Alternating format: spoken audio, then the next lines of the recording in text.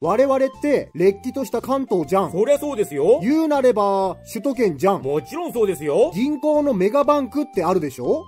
ああ、この三大銀行ね。三菱 UFJ、三井住友、そしてみずほ。それが何か？この三つ、群馬、栃木にどのくらい店舗があるのかなーって。そりゃあ首都圏ですし、いっぱいあるでしょってことで調べてみました。いっぱいあるでしょまず三菱 UFJ 銀行、店舗なかったですい。や、ないんかい。ATM だけでしたな首都圏ですよ。